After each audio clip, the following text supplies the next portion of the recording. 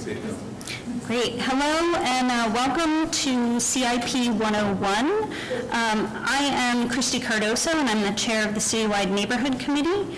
Um, and I just wanted to give a brief uh, history of how we got here tonight.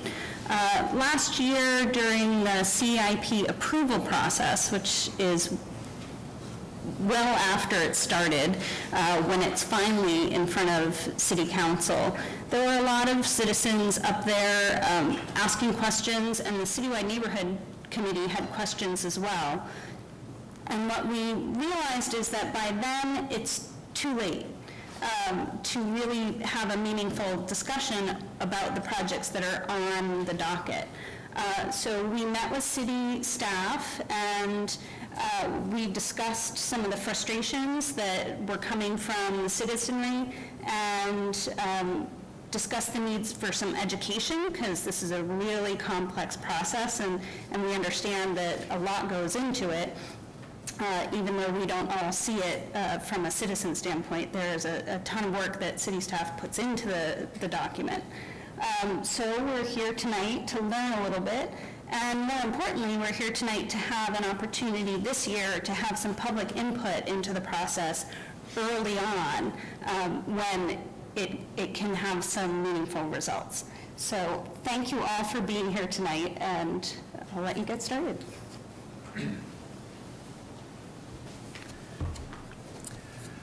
Uh, thank you, Christy, and welcome everyone. My name is David Allen. I'm the Deputy Director, uh, no, I was the deputy director. I now I'm the deputy city manager. Um, and I, first I'd like to uh, express regrets for John Bohenko, who would be this position, but uh, he's out of town tonight, but um, is uh, with us in spirit, and I'm sure he will review the tape here. So um, with that said, we will get on to the, um, the, the uh, meeting. And what we're, what we're trying to do is, as Chrissy mentioned, it is a somewhat complex process. We feel it's not as complex because we do it so frequently. But um, for somebody from the outside, it, it certainly is worth uh, you getting a better understanding of that, and that's what we're here to do tonight. And like she said, we're also, um, at the city manager's request, and because we've heard from what the neighborhood committee said and, and the concerns that people feel like they need to get a, a, voice into this process. We are changing the process this year. Uh, there is going to be some more input, and we'll go over that uh, as we go on. So what we're going to talk about is the process and, and some of the requirements. We have both uh, statutory and um, charter requirements to under this process that we work under for the CIP, and those include a schedule, um, and so I'm going to be talking about those, and then I'm going to turn it over to Juliet, and she's going to be talking about the um, how we choose those projects, that selection process, uh, the way we work with our, this process has to work with our master plan and some of these other plans like the bike ped plan, those types of, of planning documents, um, the federal regulatory documents, requirements, and, and those types of things are, are the basis of, of some of the, and, and, a large part of the projects that we use in our plan. And then uh, Andrew Pergel from our finance department is going to talk a little bit about the funding. And then Peter Rice will go over some of the current projects, what, what's in our current plan, and then um, we've actually got a case study that explains, because there, there are often times where projects are in the CIP um, and, and they, they, they get pushed back year after year or they change, the, the schedule changes. So the, you know, the, the important, one of the most important takeaways from this thing is, is to understand that while this document becomes part of the budgeting process, this is a plan. It's not a budget, so when, when something gets in here, it's, it's part of a plan, uh, but there is a budget process that is separate from this, that this is a part of that gets folded into that when actual uh, appropriations are made and, and it's decided whether or not a project is going to be funded. So again, this is really um, planning document. You will be tested on that when this is over. Um, so again, as I said, there are charter requirements, and uh, the city manager is required to submit um, a uh, six-year capital improvement plan to the city council three months prior to the submission of his budget. So um, Budget submission is typically around April, so we- go for a, um, you know, he's, he's submitting that um, three months prior to that. And then he also, um, by, by uh, charter, he's required to have a public hearing held before the city council. So those are before the budget is submitted. So those are a couple of the primary uh, requirements out of our city charter. Again, there's also statutory requirements that are a little more broad that our charter kind of fine tunes. And on the right-hand side, you can see that we have a list of our projects uh, with cost estimates, how we're being, how they're being financed, schedules, and uh, the impact on operating annual maintenance costs. So those are specific to, those are not requirements by statute, but they are uh, requirements by our, uh, by our uh, charter. Again, so the, the, the state statutes that govern, uh, give the planning board the authority to oversee a capital improvement program. And uh, while this is non-regulatory, it's, uh, it's something that the, is very important for the board, um, and it supports our responsibility, again, of, uh, of uh, preparing and amending the master plan. So this is really, you know, when we have, when we talk about doing that master plan, a lot of what comes, gets put into the capital improvement program is, is- are things that are referred to in the uh, master plan. And then, again, this is part of the budget process, although it is not a budget document. Um, So just for a timeline, um, as Christie said, there was, uh, there was concern that it got a little too far um, in the approval process before there was some public input. So we're, you know, a meeting like this is something that we hope to get some input from you, and we're providing um, the opportunity to, to provide written input on projects um, tonight and for the next couple of weeks. Um, Ultimately, in November, well, in October, the, the um, staff really goes, goes into preparing the documents, putting together uh, the documents and the, the program sheets from all of the various departments. Um, But ultimately, in November, um, the planning board starts, and there- there's a subcommittee of the planning board that will meet with the um, city manager, with the um, finance director, or the deputy finance director, the planning director, and they, they go through those projects, and we'll talk a little bit more about that. Um, And that's that subcommittee. In January, um, the planning board adopts the CIP. In February, there's a work session. In March, there's a public hearing, and then uh, the C- CIP is adopted in March. So with that, I'm going to turn it over to Juliet to talk a little bit more about how we develop our plan and uh, the things that go into that. Thanks, Juliet. Thanks, Dave. Um, I'm on the list to speak a little bit about process, and because that's one of my jobs, I'm just going to talk a little bit about process for tonight. Um, On the table, as you come in, there is a handout of the the presentation that we're going over tonight. Also, there is a project um, suggestion form um, for, if you uh, so desire, to make a re- project request or project suggestion for consideration as part of the CIP process. Um, And I also want to note that um, the planning board member, there are a couple of planning board members here as well in the audience who will be part of the approval process um, of the CIP. Um, Beth Morrell in the back and John Ricci, our planning uh, board director, is also here, um, chairman, sorry. And our planning director is also here. So all of those are people who have um, a pretty significant role in the process. And uh, David Moore is here from our Community Development Department. So all of us have some, play some role in this process and are familiar with different aspects of it. So um, should you have questions and so forth after the meeting, maybe um, specifically to that, to any of those folks, just keep that in mind. Um, I am, I work in the planning department, I'm a transportation planner, and um, have gotten involved in helping with the process um, the past couple years. Um, So with that, I'm just going to give you an overview of what is, a- what is the capital improvement plan process all about. Um, So first off, um, Christie alluded to sort of the CIP 101, and we do want to give you sort of the basics of what a CIP is. It's not unique to Portsmouth, there are capital improvement programs in a lot of different towns and cities but they also share some pretty common um, basic characteristics. So um, the capital improvement plan, which I'll call the CIP interchangeably, um, is part of our cities and most communities' um, fiscal planning process, community and fiscal planning process. Um, It is a plan for accomplishing improvements on a scheduled basis, sort of like a timeline. Um, It provides a complete picture of the city's major development needs, um, capital investment needs, uh, coordinates activities of various city departments and agencies, assists in implementing recommendations of the city's master plan, which Dave also alluded to.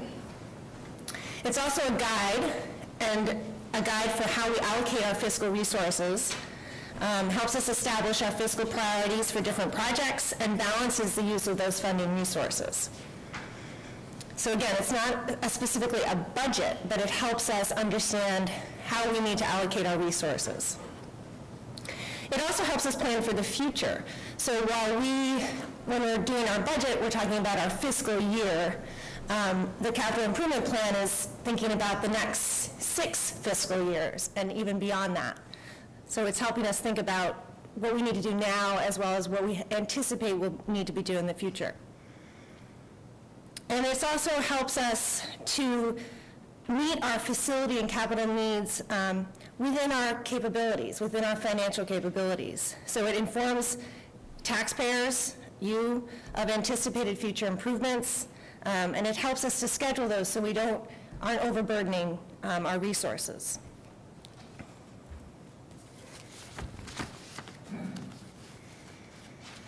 So what's a capital improvement project? Well, on the side here, you'll see in brief, it's a major expenditure which is made periodically or basically non-recurring.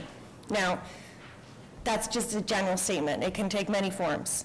Um, Our capital improvement plan includes projects that fall into one or more of the following categories, and we spe- specifically define these in our capital improvement plan. You'll see them in the front of the book. Um, On the project sheets that you have tonight, you'll see those listed as project types. So just to summarize, just to go through those, land acquisition, construction or expansion of a new facility or utility, non-recurring rehabilitation of a facility, um, and we have a, a guide for that, that the cost should be no more than $50,000. That's not hard and fast, but that's a guide for us. Design work or planning study related to a capital project or implementation of the master plan. An item or piece of equipment, non-vehicular, that costs more than 50,000, um, again, as a ballpark for our, to guide us, and with a life expectancy of five or more years. And then replacement and purchase of vehicles, which have a life ex- expectancy of more than five years or cost more than $50,000. And those guidelines are there because we're not looking at doing immediate needs. Um, We're trying to do things that take some planning and anticipate costs. So we're not going to cover uh, department's operating costs out of our CIP.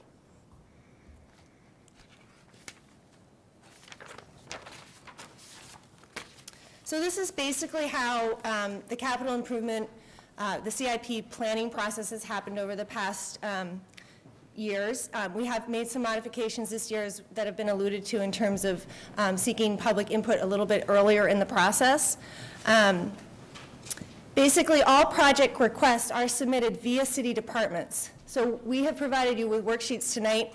Those, um, we would expect if you wanted to submit a request or a suggestion for a CAP project, we're going to have those come through the planning department, but then they would get filtered out to city departments. And basically, that's to, for the city departments to have the knowledge of, you know, utility costs or the related infrastructure needs and so forth. And so they would then be um, vetted through the city department into the, the CIP process. So those get submitted to the city manager, and um, that city, the, then the process is to have the planning board subcommittee um, review the projects. For a new project request, um, in most cases, we have very few new project requests. Um, Basically, we update our CIP, which is, has a six-year term, we update that every year. So that doesn't mean we come up with a whole new slate of projects every year. Um, Most projects carry over into multiple years, uh, multiple fiscal years, um, which is why our CIP has that six-year horizon. Um, So we, we are often just reviewing our existing projects and saying, is it, are we still on schedule for that? Do we need more budgeting? Has it morphed into something different? Um, So that's why we do it on an annual basis, because we have that opportunity to see where we are and make sure we're staying on track with, with those projects, or if things need to be shifted around, if new resources are available that we can, can utilize.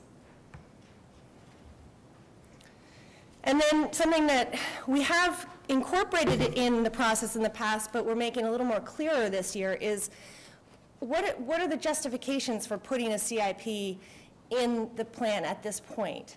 Um, there, there, and we've come up with this list of criteria that actually is reflected in, in other CIPs um, in the country. This isn't just something we came up with. Again, this, we're modeling this list off of um, not only New Hampshire, but others in the country. And, and some of our, some of our projects only meet one of these criteria, some of them meet multiple criteria. Um, They don't necessarily get ranked one way or the other in that sense, but, but we do want them to meet, at least one of these criteria. So is that project identified in an existing document or study? And we asked for that title, the title of that study or document, hopefully a, a very recent study or document. Um, Does it address a public health or safety need? How does it alleviate substandard conditions or deficiencies? Does it respond to a federal or state requirement? Um, Is it improving quality of existing services? Is it helping add capacity to existing services? Is it reducing long-term operating costs, providing incentive to economic development?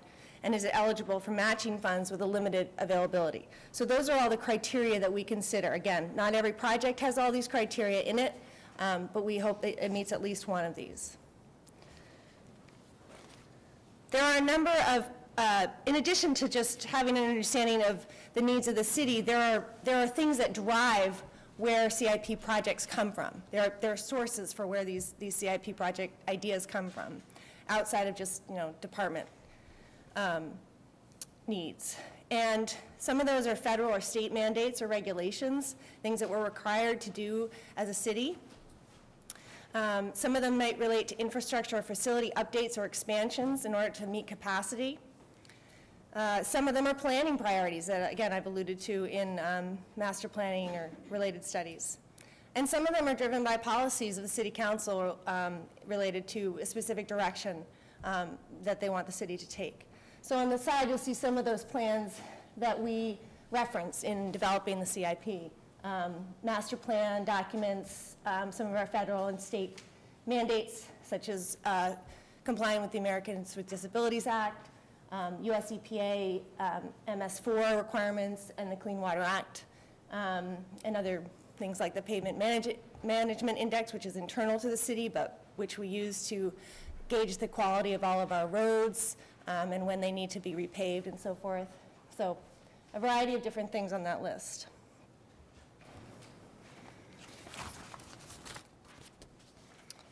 And then there are um, a variety of ways that we fund projects. And when we identify a project, we also want to know how we're going to fund that project. So we don't just come up with a project and then say, well, funding to be determined. So um, when we decide on how to finance a project, um, we think about different factors. Um, what's the co total cost of the project? What's its useful life? Um, Is it eligible to receive funds from other, uh, other places besides our local taxes? Um, Does it have a long-term and short-term financial, is there some kind of obligation on the part of the city? Um, And what is the project's relative priority in terms of implementation? So those all are things we have to consider when we're trying to determine whether we fund this out of the general fund, whether we try to go after a state grant, um, or whether we try to bond this and go into debt for it, or whether we use one of our revenue funds. Now, those and enterprise funds. Now, those are somewhat restricted, so we have, we have, we can only use some of these things for certain purposes.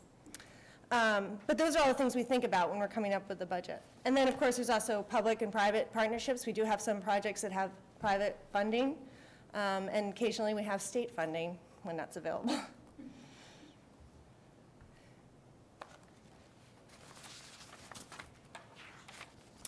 So this is just to give you an example. Um, in our last fiscal year CIP, so 2016, which is what we're working under right now, um, this is just the non-enterprise fund. So this doesn't include um, the sewer and water, which are enterprise, dedicated enterprise funds. But of those projects for fiscal year 16, um, the general fund covered about 5%. Um, Bonding and leasing was allocated at 33%. We had federal and state monies at about 2%, which is reflective of where we are right now in that case. Um, We have very limited federal and state funding available. Um, Public and private investment was about 1%, and other revenues, which a lot of that was the transportation uh, revenue money, um, was about 60%. So this is just to give you a sense of what we, when we presented the CIP to the subcommittee and and ultimately to the planning board and then to the city council, this is how the funds in that, for that fiscal year were allocated between these different funds. Um, And then the city council then determines how much of that is actually going to be funded out of the budget. So this just gives you a sense of how things get spread between different funds. And again, I just want to, I think this is what, one of the study questions. The CIP is not a budget.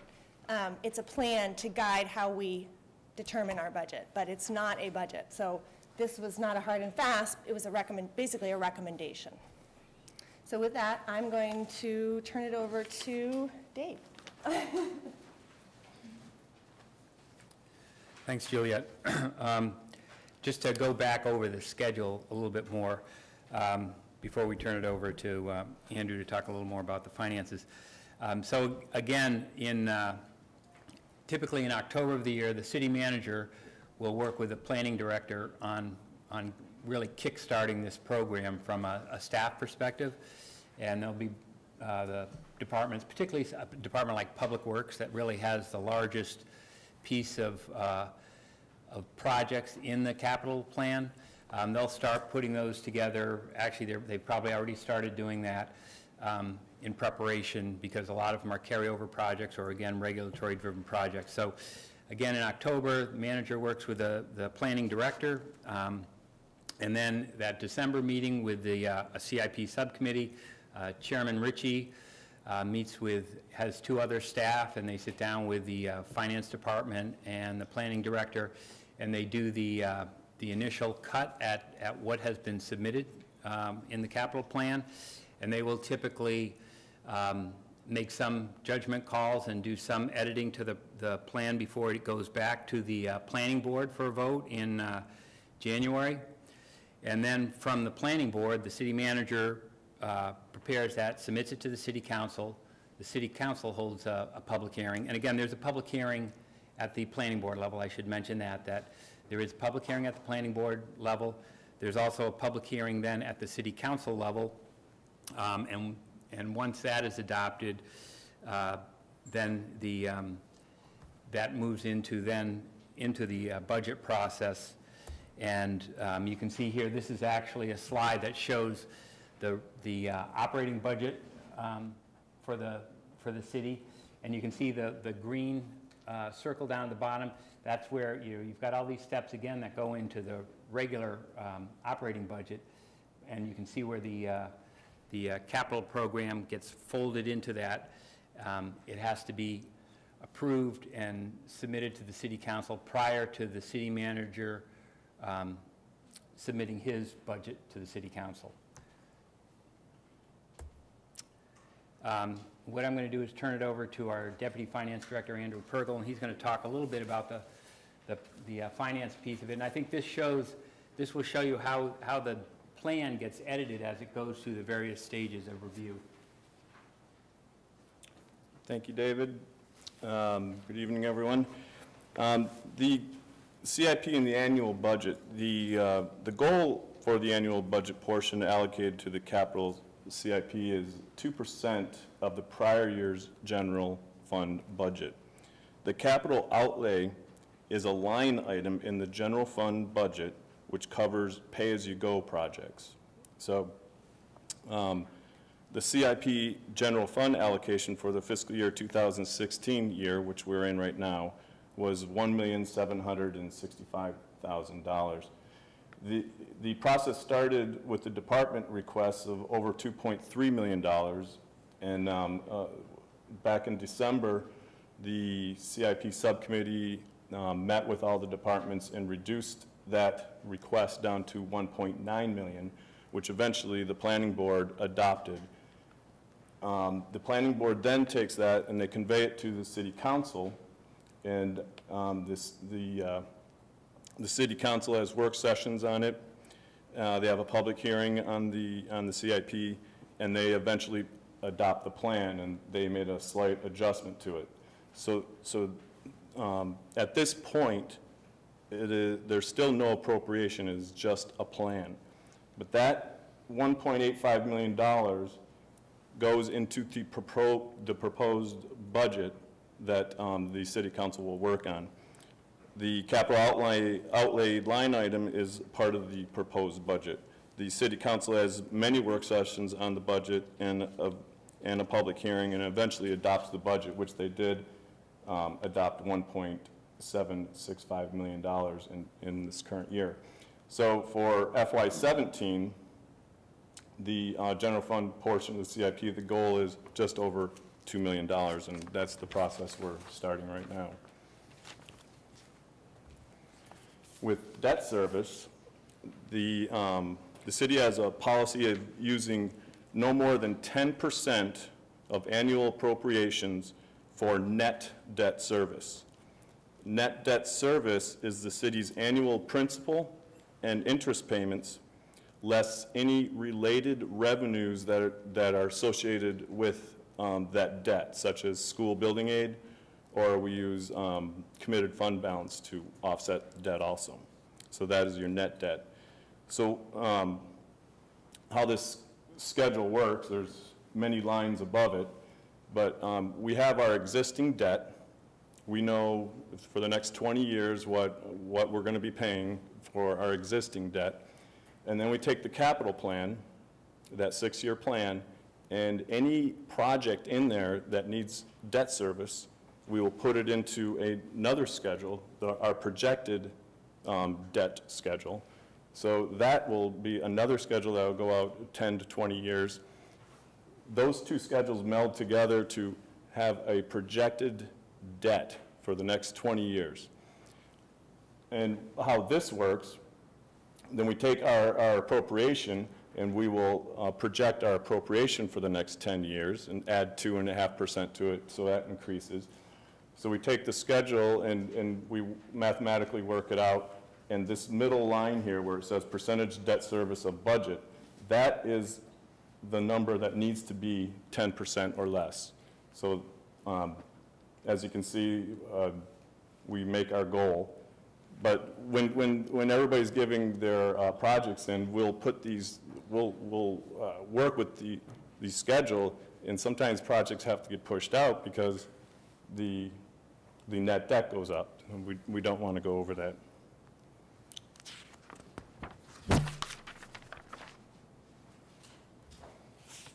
Uh, CIP funding by project type.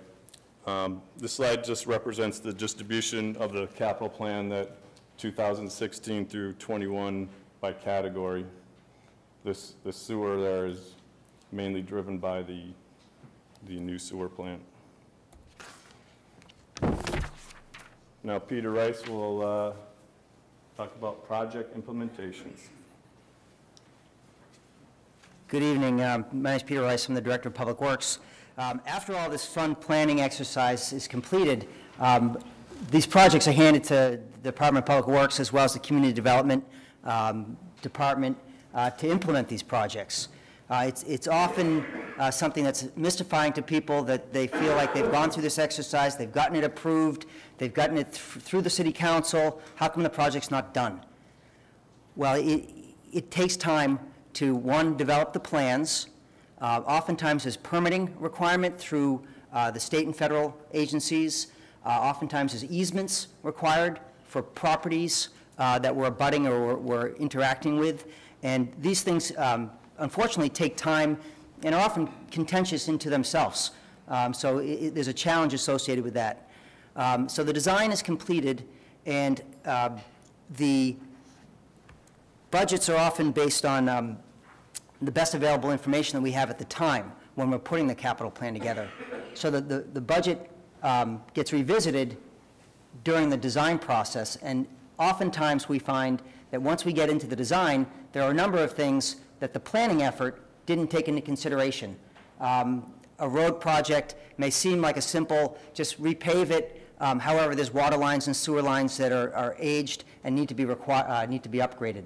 Um, There's uh, telecommunication uh, equipment that are in the way. The gas company decides that this is the time that they need to to start their process as well. So oftentimes, the the the plans and the and the budgets that are developed during the capital improvement plan process um, are not 100% accurate, and therefore, funding for those projects um, is is not always 100% there, so we have to go back and adjust uh, the scale or the scope of what we're going to be able to complete and the timing associated with that. Uh, Oftentimes, projects get put together in phases.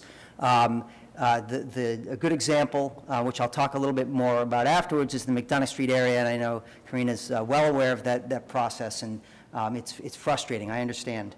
Um, So the, the following slides that I have here are the slides for this year's projects alone. Every year, we put together uh, the construction projects, and this year, we broke the, the, the figures up because there were so many things that were going on, it, it gave an impression that um, there was kind of a a blitzkrieg um, throughout the city, and they're not all construction projects. Some of these are design projects, and in this case, um, I don't know if we have a a laser pointer here. There is. There we go. Is it on?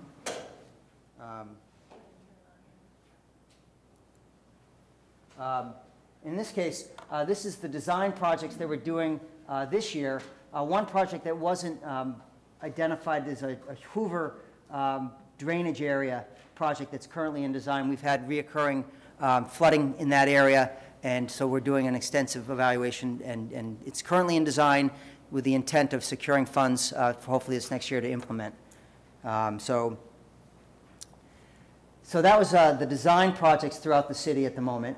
Um, These projects, and this is all on the website. If you're interested in going, you can go to the Department of Public Works uh, projects, construction projects, and you can have all this information there. Um, This is the actual maintenance uh, projects, and, and we differentiate road projects uh, between, uh, really, just straight paving projects, where you go out and you mill and you um, just put asphalt down, versus construction, road construction projects, which you're actually going in and you're rebuilding uh, the road base, and you're putting drainage, and you're putting curbs and sidewalks. So it's a more extensive projects. So these are all the, what we consider more of a, um, maintenance is really not a good term for it, because it- it's longer, it's, it's not just every other year type thing, it's, these are 20-year, 10-year projects. Um, But you can see um, some areas that have been completed down in Buckminster and and Martha's Terrace, those have been completed. Uh, We've done uh, some crack sealing along this area, um, and there's been a number of projects out in Pease as well that have been completed in in various spots throughout the city. Um, Those are for payment, then for maintenance, for construction projects, uh, we have a number of projects that have have gone on, uh, that are planned to go on, um, and are going to continue to go on. Uh, The Sagamore Ave was completed this year, um, and uh, the bridge was completed this year. Uh, West Road is out to bid, actually was bid, and that's going to be reconstructed uh, this fall. Um, So there's a nu- number of projects throughout the city for construction. And then facilities projects um, as well. As you know, the city has a number of buildings throughout the city, uh, as well as fields, uh, tennis courts, things like that. These projects are, uh, these facility projects are what those types of projects are. So as I, as I alluded to before, um, these projects are often implemented over a phased period of time. Um, And the reason we do that is because uh, there isn't always enough money to do it all in one fell swoop. Um, So the, um, the McDonough area was funded in, a- in five, five uh, separate years, um, 2010, FY 10, 11, FY 13, we skipped a year in there, uh, at 14 and 15. Um, We've completed phases one and two, which is the uh, blue area and the purple area. We're currently under construction, or soon to start construction, on what we're calling Phase 3A. Originally, we didn't have a Phase 3A. As I said before, projects often evolve as information uh, becomes available. Um, We've been wrestling with sewer overflows and backups in this area uh, for uh, a long, long, long time. Um, We've we've wrestled with how to address this area it's a combined system, and if you know what a combined sewer storm system is, it means both stormwater and sewer going to the same pipe. During rainstorms, that pipe capacity is exceeded, and sewage backs up out, and it often comes out in areas that you don't want, people's basements, out on the street, near parks, um, and and it's, and it's not safe, it's, it's something that has to be addressed, um, and it's also uh, an EPA requirement that has to be followed through as well. So after years of of wrestling with this issue, um, the least, or the, the- the, the solution that we finally had to, to swallow is a significant drain um, extension down into the North Mill Pond. This drain line um, took a lot of permitting. Uh, We had to do a taking, uh, a, a- a taking from the railroad, uh, which is a whole process unto itself. Um, The design was uh, a significant effort, and when we went to bid, to bid the project, um, it came in at about a million three high. So we had 550,000 allocated for this. It was $1.8 million. Um, Obviously, we uh, regrouped, repackaged the project, and rebid that project, hoping that by doing so, we could reduce the project cost significantly. Uh, We were able to knock $800,000 off that cost, so we were down to a million dollars. Um, That, again, was more than we were hoping to spend. But you go through this exercise enough times and you realize these are real costs, the contractors aren't making these things up. You get bids that are really tight, so you get multiple contractors saying it's gonna be about the same cost. You have to, at some point, you have to suck it up and say, you know, we gotta build this project, so we have to, we have to do that. So, we, um, what we've done, um, this, this shows the, the various funding sources. Uh, the general fund, as I said, there was 400,000 over a five-year period for a total of $2 million. Um, To date, uh, we've committed or spent 1.4. Um, We've also leveraged monies from the water and sewer uh, to complete some work in the first phase. Um, I didn't have the final numbers on the second phase that I, I were able to pull together quickly, so I know we did some work, um, so I, but I don't have that exact dollar value at this time. I would, instead of putting a number out there, I'd rather just leave it blank for now. Um, And then we've been able to leverage $550,000 uh, for um, the completion of this Phase 3A, is what I'm calling, it's the drainage project. Um, Once that drainage project is complete, we'll have roughly uh, $500,000 left of the 200, uh, $2 million to complete um, the remainder of the area. Um, We are going to go back to the city council and ask for additional money uh, this fiscal year because we were not planning on spending as much money as happened on that drain line. So um, we do have money, though, to, to, to take the next step. Um, We have about 500,000, which will help move along the next phase of the construction once that drain line is complete. That's what 3B is. 3B would be this blue, light blue portion. So, so the, um, you know, what, what happens um, with these, when, when we come across challenges relative to this? They, they impact um, the overall schedule of the project. Um, They, they obviously impact the funding sources, and they, they cause us to have to reprioritize funding uh, from other areas to be able to accomplish these projects. So this is really one example of, of a project, um, which is oftentimes uh, pretty common as we do construction. This, you know, things happen over time. You don't, you don't know, bids come in high, bids sometimes come in low. Sometimes we walk away with a little bit of extra money and we're able to stretch what we're able to do, which is great. Uh, But in this case, it it came in high, and, and that's why there was a a delay to the project. So with that said, um, Juliet will wrap it up. We'll, we'll, we'll make time for questions um, in a second. I just want to quickly um, do a quick recap and also uh, mention the um, project suggestion form that we have on the back table. Um, As uh, Christie had started to talk about in the beginning as well, we, we do want to give an opportunity for some direct public input as part of the CIP process. So this is a new thing for us. Um, So what we're gonna, what we'd like to do is ask for people, if they have some, some ideas on projects, um, to take a stab at filling out the suggestion form. We're not asking you to do it tonight. Um, We're assuming that some of these project suggestions might come out of the neighborhood group um, or other entities. Um, And there, we are asking you to provide some of the information, not all of it, that we would ask the departments to provide. Um, Sort of, what type of project is it? Um, So uh, the list of projects that we would typically include in, the types of projects we would typically include in the CIP, a project description, and justification. Um, So the list of criteria that we went over earlier, um, check off as many of those as you think are relevant. Um, And that's pretty much all we're asking for at this point. Um, We aren't promising that every project um, is going to be in the CIP, just like every department isn't promised that all their projects are going to get in the CIP. There's obviously, if you haven't, if you take one thing away tonight, hopefully it'll be that there is a lot of factors that go into not just the CIP, but also um, the overall budget process and um, how we expend general funds, how much debt we can go into. All of those things are things that we have to consider on an annual basis, and the CIP informs that process, um, but has to be balanced among many other items. Um, But we would certainly like to hear from you in that way, and um, we have a deadline um, for these project sheets to be submitted by October 16th, so that we can get them out to different departments, um, so that departments can take a look at them.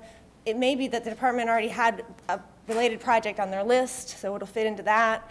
Um, It may be that a new project idea comes out of that, and we will certainly, we are committed to providing a list of all of these projects that have been um, suggested in the CIP this year. So that'll be in the appendix. So if it doesn't get put in this year, we have that as a reference for future years and further consideration.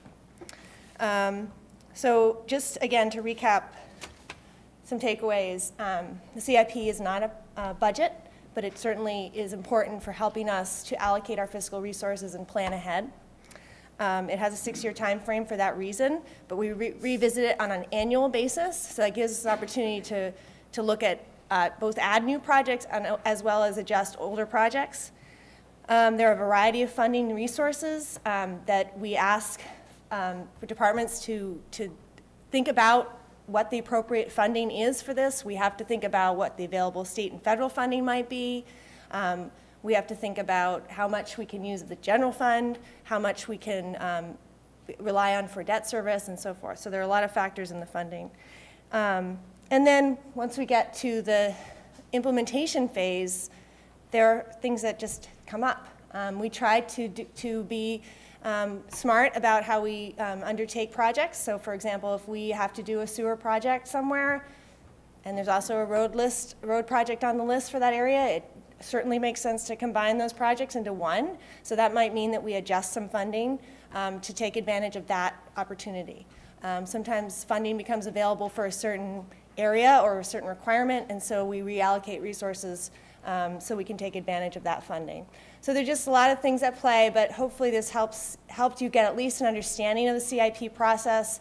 Um, and we're going to we're gonna open it up to questions and comments at this point. But um, we also will have a planning board meeting um, for the public to have input in November on the, at the November 19th planning board meeting. So, okay, with that, I think unless you guys have anything to add, we'll just go ahead and open up to any questions. And we are recording this, so um, where's our Brenna Woodman is going to um, walk around with a microphone so we get your answers recorded.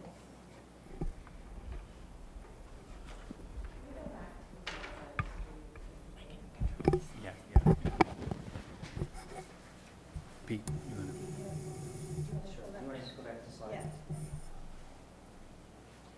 Thanks. Um, So I just want to start my question by saying that during my day job, I interview construction managers and engineers to understand what they're doing in the field. So I want to try to couch my question in that way because um, when we had five phases approved for our neighborhood in 2009, um, obviously you laid those out, one, two, three, four, five, in a, linear fashion. So when we came to a halt um, in this project, I wanted to understand if there's an engineering reason that you could not change phase three to be the lower half of our neighborhood, like towards the Hanover Street, um, so that we could continue to have improvement and not wait another six to seven years to have this completed. Is there an engineering reason? Yes. Yes, oftentimes there's utilities underground that need to be taken care of uh, prior to putting top coats on. Um, You don't want to go ahead and put new sidewalks and curbing and and pavement in if you have utilities underneath that have to be addressed, and that's what was delaying the whole process, was the utilities that had to be addressed.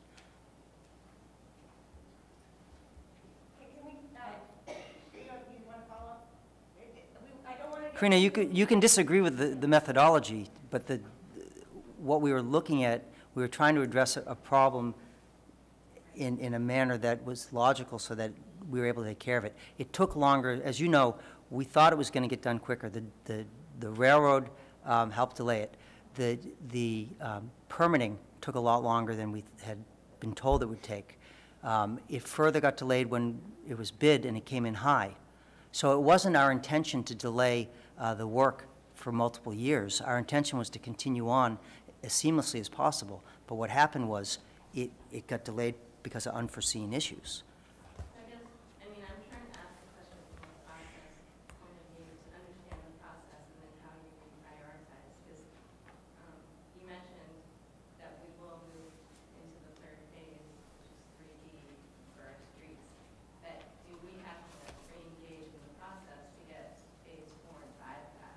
Um, You shouldn't have to, but if, you know, if, I I know you will be involved, and that's a positive thing, and, and what we will do throughout is, as you know, we hold, we hold pre-construction meetings, uh, we hold, you know, public meetings throughout the process, and we will continue to do that. And, you know, we're going to be going back, as I said, because that, that drainage um, project took more money than we had originally anticipated, um, we're going to be going back to city council requesting additional monies. Your support for that additional allocation um, would be appropriate if you would, you know, would like to push that along. Um, You know, it's, as you know, it takes time to get these projects done. The, the sewer separation projects have been going on for over 14 years, and then the, the projects in the Lincoln area are, are just finally coming to an end. There's still construction on, on there. It's taken a long time to get that work done. Um, It's not unheard of when we phase these projects uh, the way we do, uh, for it to take, and that there's delays and things like that. So I understand your frustration, um, and I would say, stay engaged, um, and, you know, make sure, you know, we don't get, you know, too far offline in terms of the schedule when possible. You know, we, we try to explain why, you know, why delays happen.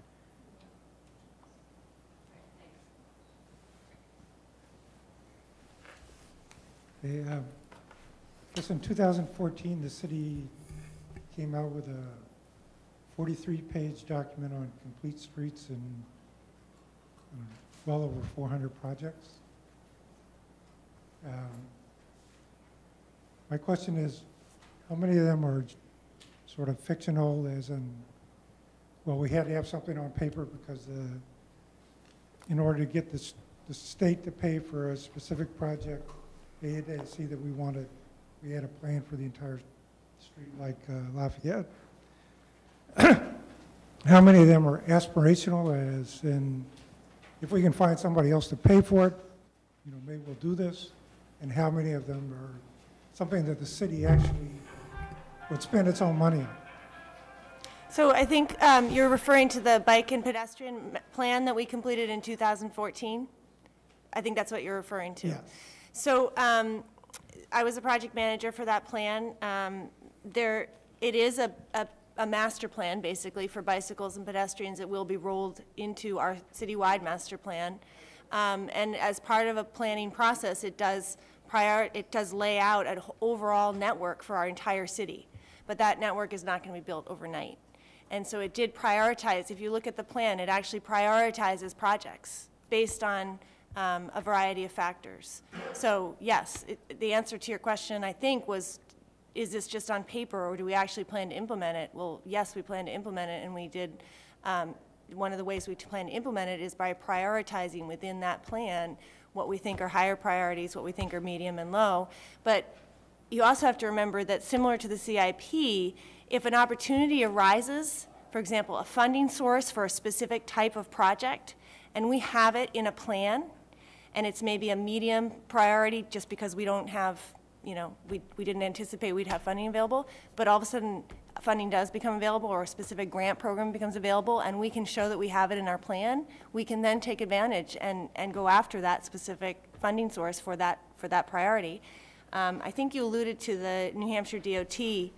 Um, There are roads outside of our jurisdiction or control um, that the only way we have to make things happen on those roads is to show the DOT that we have a plan for that road that we'd like them to help us implement. Um, And specifically, the, the portion of Route 1 um, that is outside of our urban compact area, that basically is from where the former crossover was south to the Rye Line. So um, I would say that selfishly, I want every single one of those projects to be implemented, um, but they can't be implemented overnight. Um, But that's a tool for all of us, citizens, um, staff, city council, to use and decide how we want our, that to be implemented. It's, it's, um, it's, it's a good tool, and it has priorities within it.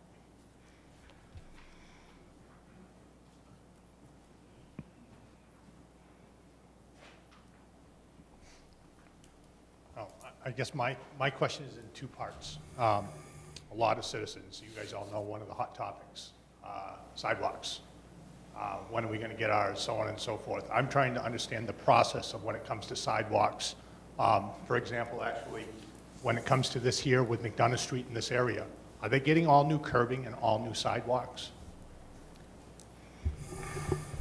Oftentimes, what we do is we reset curbing if it's in good shape, so we reuse it, and that, that helps stretch uh, some of the budget. Oftentimes, we have to, to buy new curbing uh, as a result of it. So the intent is for new sidewalks, new curbing, um, you know, what I call a complete street, you know, it's, you know, the box down, you get, if there's utilities that need to be replaced, we want to go in and do that, because I don't want, I don't want to dig up a brand-new road, because you do that, you compromise the life of the I- road. I I totally get you with that. I've had Yeah. many conversations with that. I'm trying to understand the process when it comes to it. So as far as, we- we've changed the guidelines when it comes to sidewalks. The the city council has gone and done it, where we're doing concrete, uh, Wibird, Lincoln, Miller, um, Union. Um, They all have their concrete sidewalks, they all have their brand-new curbing. You guys, the city did a wonderful job, everyone did, as far as making that what it is today. Um, I think a lot of people still disagree as far as the narrowness of it, kind of a thing, and we all know what happens in the wintertime. I'm in hopes we never have a winter like that again, but my biggest thing, I- and I've tried to ask or tried to find out, and maybe tonight I can, is Bartlett Street was done a couple of years ago. And when Bartlett Street was done, there was no curbing.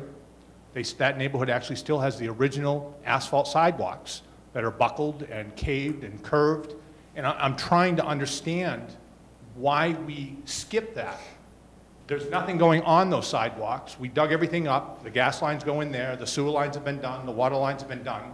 I know, and I see all the time, and I think a lot of other people do, we're using the sidewalk like we did Sagamore for gas lines and stuff like that, so we wouldn't do all of it. But I'm trying to understand how the city goes and determines something like that. Those, those sidewalks are atrocious. I mean, Islington Street is atrocious, and I understand that we're getting there and it's all a process. I'm just trying to understand how we select that. Why did we put so much time and effort into Bartlett Street and then skip the curbing and the sidewalks? Uh, I'm not sure which section of Bartlett Street. and The I entire thing, all the way that goes uh, to the railroad uh, bridge, going Yeah. all the way up to uh, Dennett Street. So, so just a a little bit of history. Um, In the past, uh, well, first of all, the- you're correct, the city council has a policy. it's a city council policy to have concrete in the city, with the exception of the historic area, uh, which is brick. I And get so that. that's, and that, so that's a, a council policy which we adhere to. When asphalt goes down, um, it's often, um, if the city does it, it's a small section that, that's It's a not my temporary question to patch you. in the My- intent. Peter, it- The- Why would the, why would the sidewalk skip going up Bartlett Street? Well, you need to understand, and that's why I was saying some of the history. Historically, the, the process was um, siloed, so you had, a- you had, you had sidewalks were one area, and, and frankly, there wasn't a lot of support for, for sidewalk expansion um, in the past. Um, The roadways were funded in one, in one, in one pool of money. The sidewalks were, were funded in one area. And as I showed up there, there's, there's maintenance paving projects. There was a big, big project, sewer project, um, in the intersection of Bartlett and Islington. That was a sewer project driven, um, there was concrete sidewalks replaced in that area. Right there to the bridge and where Ricci Lumber is, oh, Right, the extent of the project, that project. So the extent of that project, there was, there was concrete done. The other portion was done by the, the, and this is prior to my tenure as, as, as director. So prior to that, that section was done as a separate paving project alone. So it wasn't a sidewalk paving project. It was sidewalk road paving, complete street project. It was specifically just um, a get the road paved project.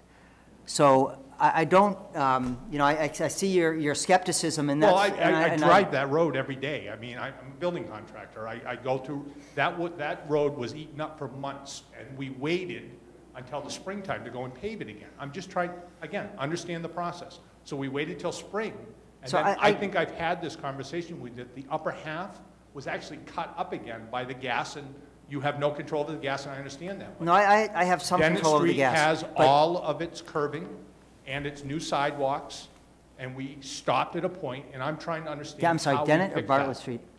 Dennett Street has all brand-new curbing and all new sidewalks Yeah, Dennett Street was a, is a complete, you know, was done 10 years ago, or six, seven, eight years ago. But, you know, I- I'm, I just don't I I understand guess why I'm we not don't really finish clear, I something guess I'm we not get really going. clear, and it's, it's a matter of, You know, Rick, I think that was probably done a few years ago. I think, I think policies have changed. I think um, you'll see that when we do go in there, there's, um, there is more of the, a complete street uh, process in this that we, I, I can't, um, you don't typically go in there where, where we've got a, a street like Bartlett Street, where we wouldn't go in and do that. But the, the, the other piece of that is, and this is what's happened on, on McDonough Street, is that to do that, you know, you're often, you're stretching your, you're, you're compressing your dollars, you're compressing the amount of project that you can do when you do that. So, um, you know, you can't, you can't have it both ways. You can't have all perfect streets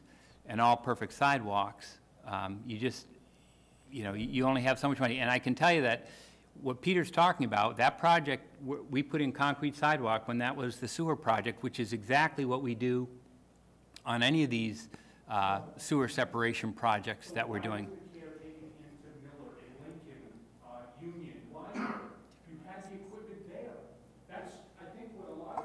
Well, they were, We've ripped the roads open, we've, we've gone and delayed a whole bunch of stuff, and I'm just trying to understand why, just like that one street, for example, this obviously is gonna be another one, why we don't go for we didn't have the resources.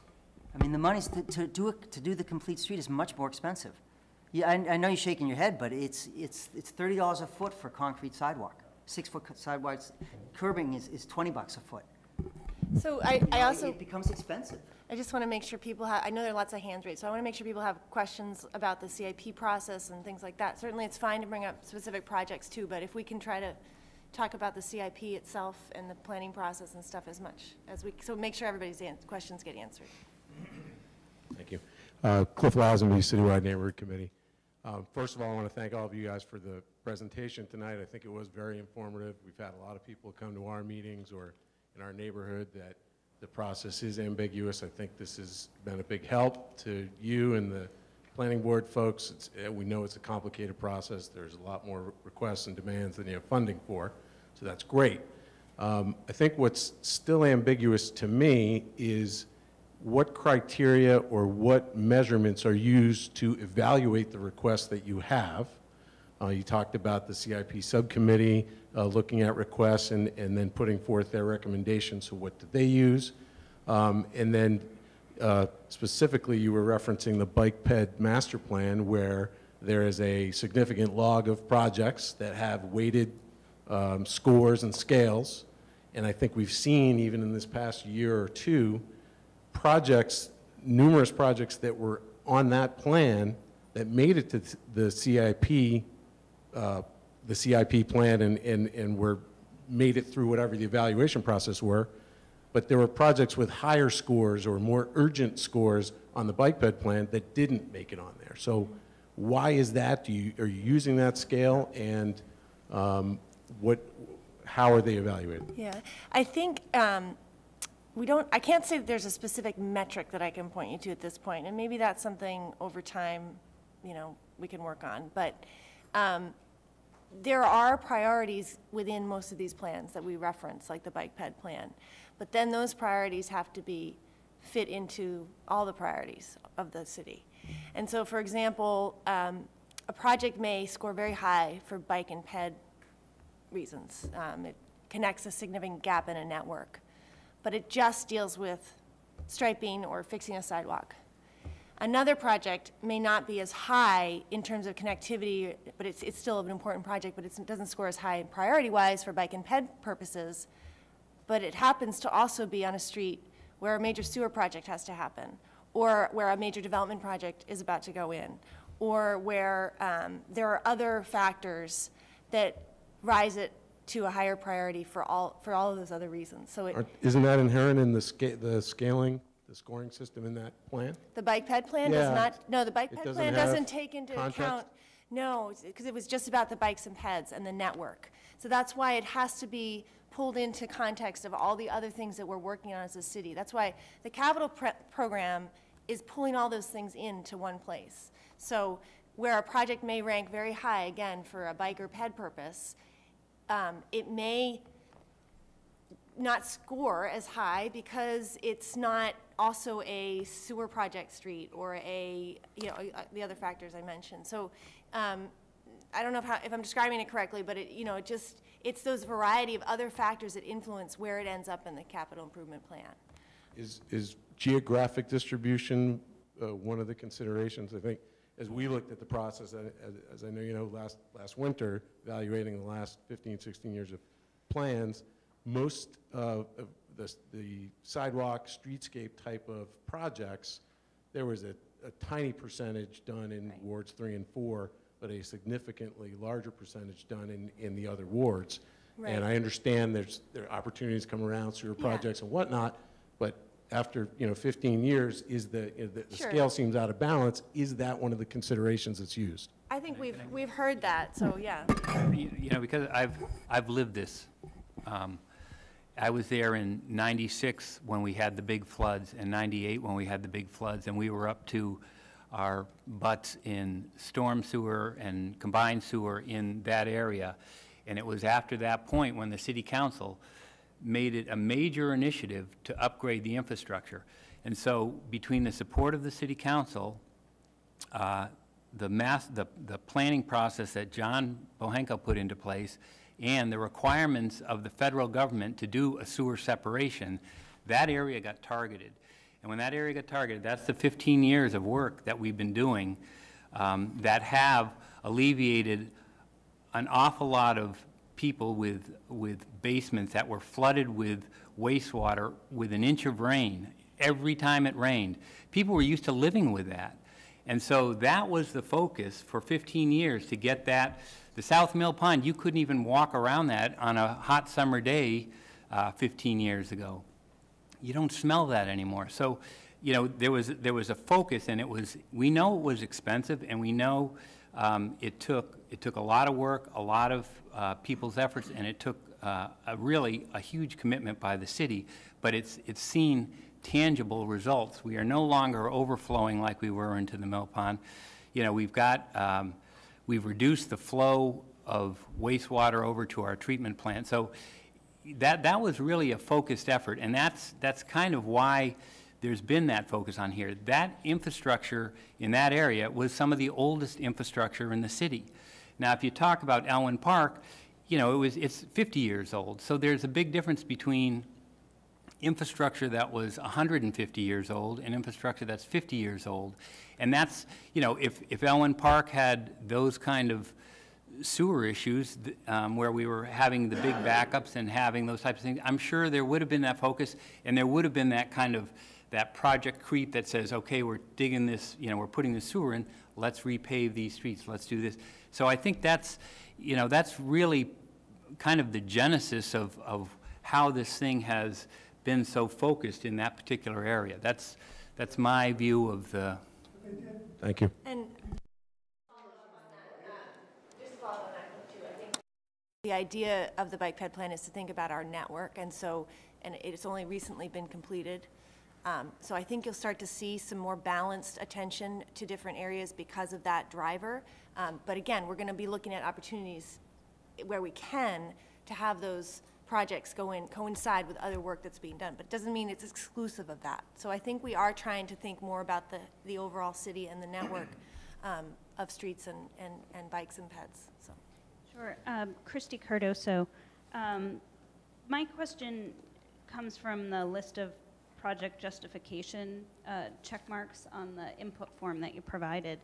Um, And one of the things that we run into when we're talking to different neighborhoods about projects, and, you know, we, we try to steer people in, you know, what's the best way to get your neighborhood issue the attention that it needs, which, which committee meeting should you go to to present your problem, um, you know, after that, where should you go next type of advice. And um, the, the question sort of comes from these lists, this list is, is safety and road condition, other than the paving index, because I know the paving index is, is all about road condition, um, you know, is there a weight to that that is higher than, say, economic uh, development?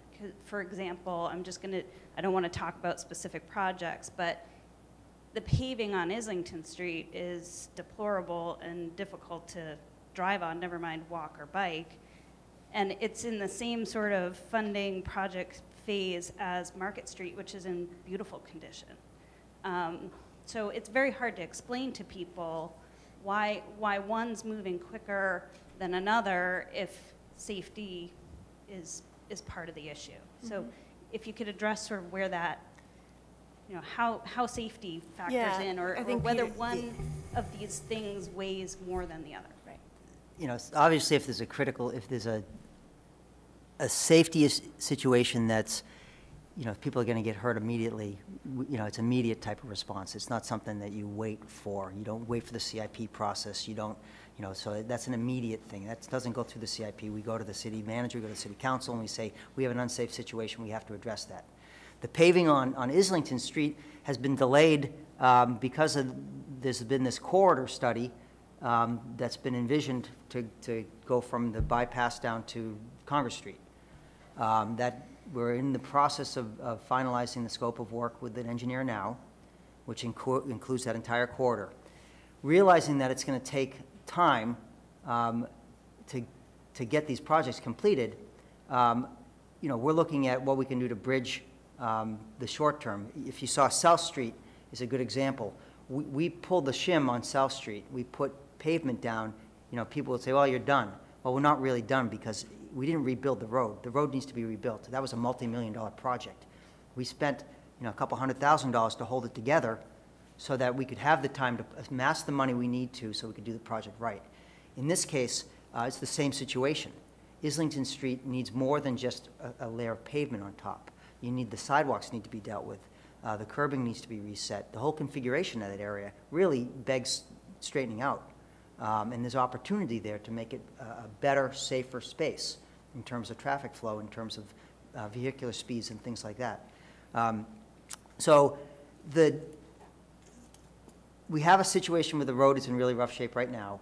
I know it's going to take time to get the complete street designed and, and, and done, so we need to come up with a strategy in the short term. And what I've proposed to the city manager, and he supported, is that we pull a shim of pavement in that section from Bartlett Street up to the bridge, or where the new pavement is, uh, just to hold it together.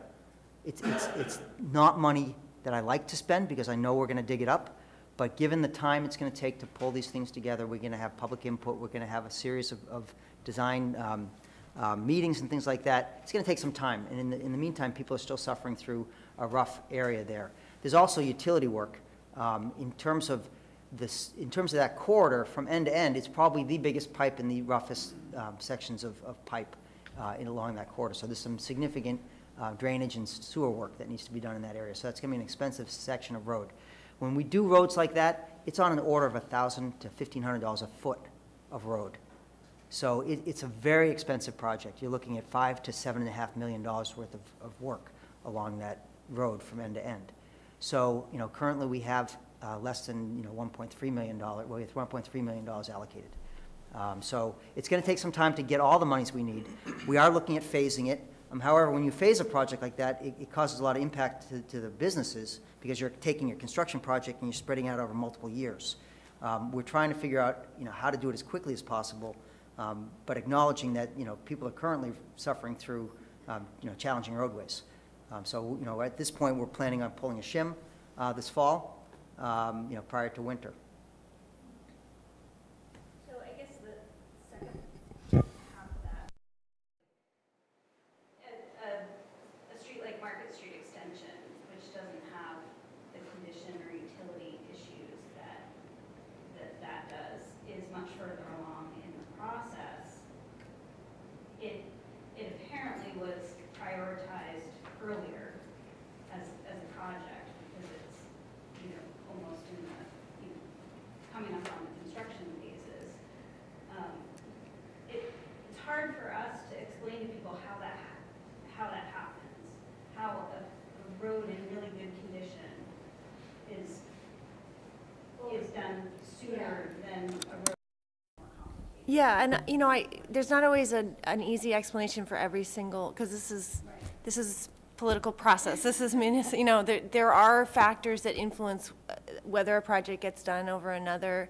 Um, You know, and I would say that, you know, the Market Street project and the, and the Islington Street project have been in the planning phases for about the same amount of time. I mean, I think, I think Gateway started. a Gateway might have started, couple years okay, so. Gateway was a little earlier, so that probably is why it is at the point it's at. Um, And it has different objectives. It's, it's also a, you know, a gateway and sort of economic driver project. So is Islington, but also has, you know, some streetscape, strong streetscape characteristic project, you know, so they're, they're different types of projects, but I, there's not sort of a hard and fast way to explain that easily, um, but we're trying to get better at it.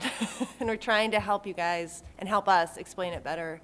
Um, the criteria, you know, we don't have a specific metric, but we try to show that these are the things that the, the factors that the, the decision makers have to consider, the planning board subcommittee and, and ultimately the city council and the planning board. So, um, so those are good questions. I think we might not necessarily have all the answers tonight, but I think, um, at the, at the planning board, um, meeting, we might be able to answer some more of those. Um, but I think they're certainly good questions to ask, so. So my question is, do you have a ranked backlog of CIP eligible projects um, that you, you pull from to determine what to do for, for next year? And then talking about how long-term these projects are from the planning to the execution phase, to realistically set expectations, what is the likelihood of a project that's not higher priority or on your list even getting any attention in the next five or 10 years? I can start, yeah, I can start, I can start, The other folks might have a suggestion on how to answer that. Um, I would say just because a project, it, it's a six-year plan horizon, but it doesn't mean that because a project isn't in there now, it's not gonna be implemented or started to get implemented in the next six years. Um, some projects have a slightly shorter horizon for implementation. Um, and so I guess in terms of a backlog, um, probably our, there's a lot of planning documents that we reference that, that do have projects that aren't in the CIP. Um, we try to, we try to cover as much as possible, and, and departments are asked to sort of prioritize before they give their requests in. You know, they have their own priority, prioritization process. Um, so certainly that's sort of the backlog, I guess, would be the, the Is list. that easy to find or consolidated at all? not really, because there's so many different plans and um, processes that we draw on, so I wouldn't say we have, but what we're, what we're trying to start doing, um, starting this year, is anything that doesn't, that maybe gets requested on, from the public at least, or through this process, we are going to include an appendix in the CIP, so that people have an understanding, oh, that was requested last year, it didn't make it in, but it's still on that list. Yeah, and that, you know, one of the, the things, once something gets on, the- in the capital plan, you rarely see a project disappear. What can happen, and what typically happens, whether it's through the, the, um, the uh, subcommittee's process or even the city council's process, they'll often get pushed off a year. They don't typically disappear. They, they, what happens is they're, so, so if you look in the outer years of the uh, capital plan, you know, years two through six, you'll often see projects there that, that get pushed, and, and that, that's somewhat of the backlog, is, gets pushed into those outer years. um, But you don't often see uh, uh, a road project that just disappears, because they, they don't disappear until they're fixed. So that, that's more or less the way it operates. The other thing is, um, some of the funding sources are two-year funding sources. Um, We have, um, this year, we received monies for uh, road maintenance, but that's a two-year road maintenance program. So the projects you saw up there that were done this year um, are just, you know, a portion of that money. So we have uh, Islington Street from, from Route 1 to the Plains Ball Field is going to get reconstructed next year. Uh, There's going to be a sidewalk included on that and some drainage improvements as well. So, but that has to, there's some, there's some easement work that has to be done with that. There's some, some right-of-ways that we have to make sure we're not stepping on people's toes uh, before uh, we can construct that. So that's, that's next year's um, work. So there's both the, uh, the sidewalks as well as the, um, the roads are funded in two-year increments. Um, So that's, you know, typically, you you know, they identify two years' worth of work and only half of it gets done in the next year. So that, that type of backlog is, is out there. Thank you. Thank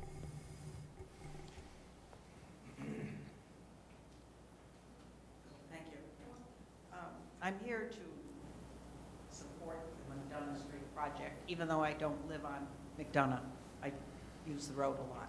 And I, I appreciate this process you explain, and I appreciate budget constraints and all that. But I know that the neighborhood wrote a letter to Mr. Bohenko in 2008. So here it is, seven years later. The project started four years ago in 2011, the sidewalks. I remember that because I just got out of the hospital, I had spine surgery. And that sidewalk down Salem, down to McDonough, that was vital to my recovery. I don't mean to be dramatic, but it truly was. And now here it is, four years later, and nothing.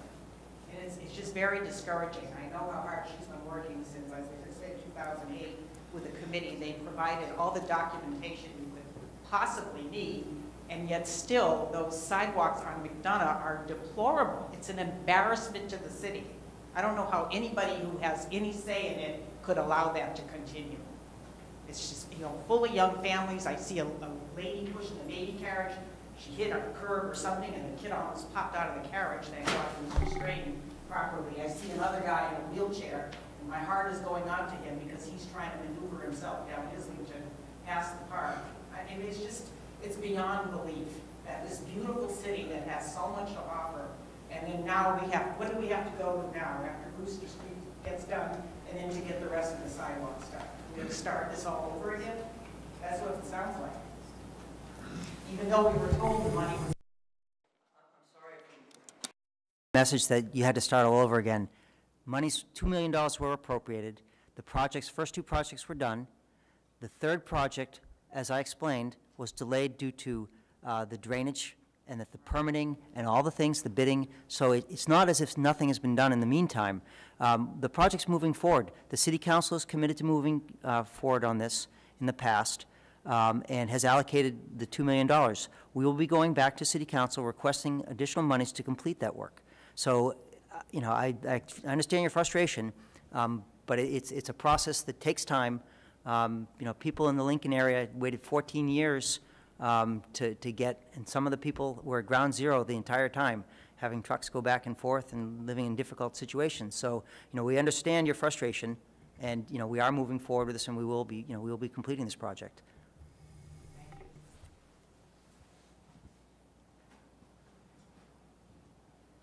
Um, I had a question about the process. Once you submit a capital improvement program suggestion, um, what sort of follow-up would you expect me as a citizen to do, and what sort of follow-up would you people do with me as being the person who suggests it? I understand there's a process that it goes to this department and that department, but Yeah. is it my responsibility to keep track of it and kind of call you up and say, hey, I submitted this, where is it? Or Um, put that I- on the website? Well, that would be great if you wanted to call us up and find out where it was. Probably the most efficient thing would be to, because this is a kind of a new thing we're trying this year, you know. uh, I don't know if you'll find a lot of communities out there that actually let people just sort of suggest projects for the CIP. I think it's going to be interesting to see how this goes, frankly. Um, But we wanted to try it, see if it would work. Um, And I think it'll either evolve over the next year or so, I mean, after, you know, subsequent, or we'll stick with this process, we'll see how it goes. But what I would say to that is, our plan is to then um, distribute these to the relevant department, depending on what kind of, you know, project it is. Um, It would then be vetted through the department. So um, when, when we get the first draft of the CIP for the, probably for the work session, um, for the planning board, sorry, then you will have ability to, to look at that and see if your project is in there or whether it's been put on an appendix. Um, And, you know, I guess probably your, your role at that point is probably to figure out which department it fell under, um, work with that department, um, but And how also would I have do some, that? have some patience and understanding that Who would I call to, to get that information? it, it will, we'll make that information available. We'll determine which, who to contact in each department related to the projects. Thank you. Yep.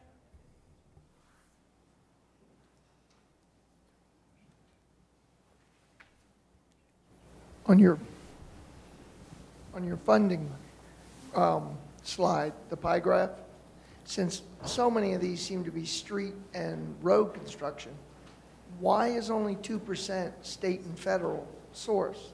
Now, the 58% other re- revenues, I assume is a euphemism for local taxes. And the other big chunk was bonding, which is taxes plus interest. So why aren't we getting more DOT money to do some of this stuff? We actually get more DOT money than the rest of the state. A lot of money comes to this, there's, you know, the, the- we get a lot of money compared to other places.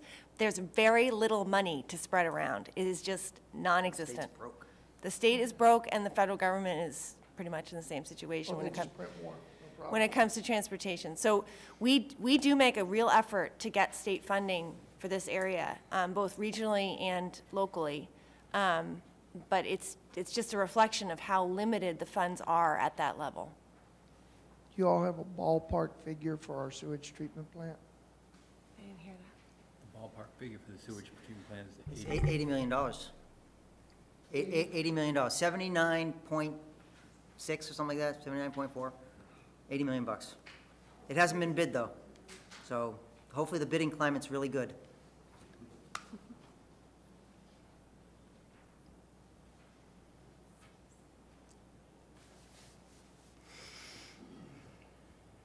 Hi. My questions are really quick. Um, Since I'm new to this, are these maps online somewhere that I can share with my community? Where would I find those? They're, they're on the DPW website. Uh, You go to the cityofportsmouth.com, go to the Public Works section, and there should be, um, let me just make sure I'm not misspeaking. Um, There should be a, a- a- something saying construction projects. Um, You can also ask Brenna Woodman, who's our public outreach coordinator. She's standing right there. and she- Okay. But you, ca- Thank if you, you have, if you have problems, con- contact her. She can lead you right to it. Um, My other Pass it question, my other question was, uh, $50,000 seems to be like the magic number as far as getting it on the CIP. If you have a project that you're interested in getting going that's less than that, who, where do you go? Who do you talk to? Well, I- first of all, if, if you are sure it's, it's less than. Sure, I'm sure, positive. Um, I guess I would suggest if, if you're not sure, put it on that project sheet, because it may be that we look at that project and we say, oh, you know what? There's some, another program or something else you could, Okay. you could utilize for those funds. We have a lot of other programs that are not funded out of the CIP, um, community development block grants, you know, things that, that just don't end So up in there's the not really a platform necessarily that you'd say, if you have a small need in your community, like a porta potty at the park, or is there a protocol that you're supposed to go through? or- Um, there probably is, but I think Okay. this is a good way for us to figure out what's, you know. So just put it down anyway. Yeah, even I would, Yeah, small. dur- during the budget process, Yeah. you can speak to it, there's an opportunity to, you know, the rec department will get out, and that's typically who deals with the parks and things like that.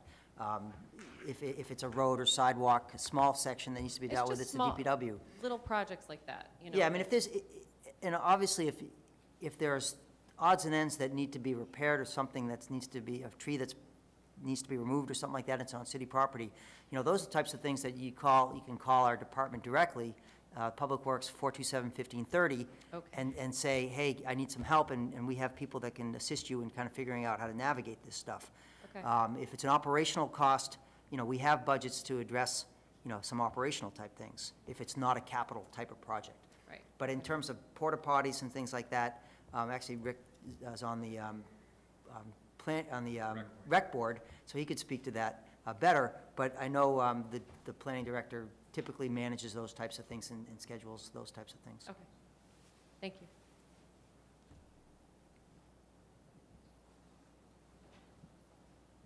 Hi, my question is just, I'm kind of new to this too. Um, We, I get told about the Peverly Hill Road project.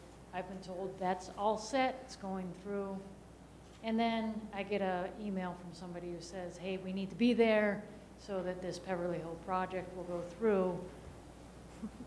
I mean, it just seems to go back and forth and back and forth. Uh, Peverly Hill is uh, a, a, a large um, stone that's around my neck.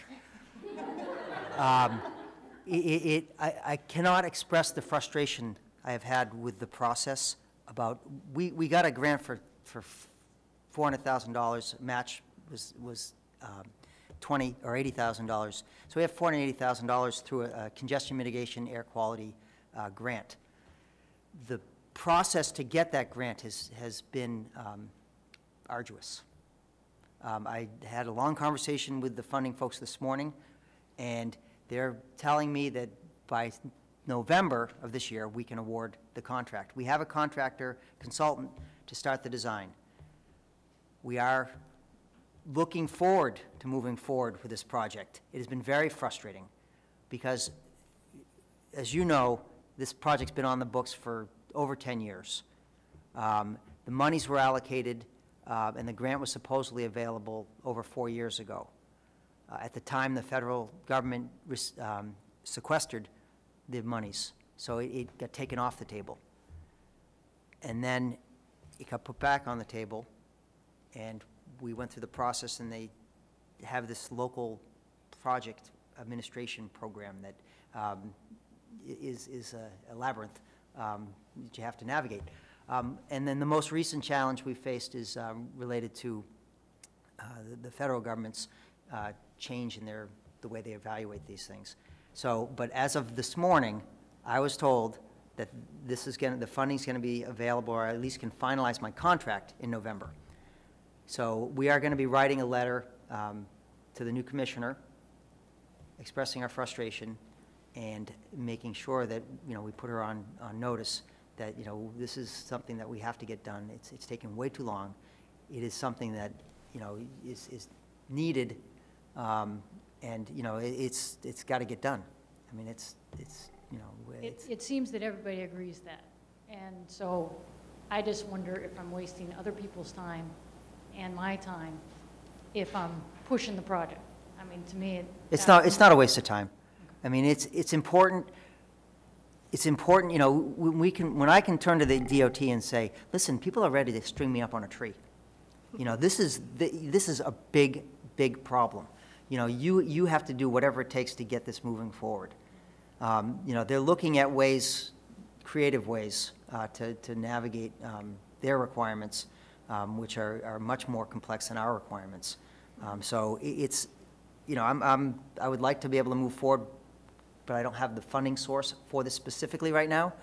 Um, It's $480,000, and if I move forward right now, the, the federal government would say, well, you move forward on your own, you don't get that money. So that's what's been holding us up.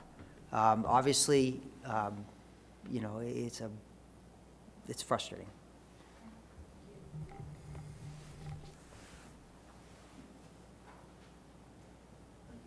Thank you. Um, Knowing how long the planning process is for the CIP, it goes out six years.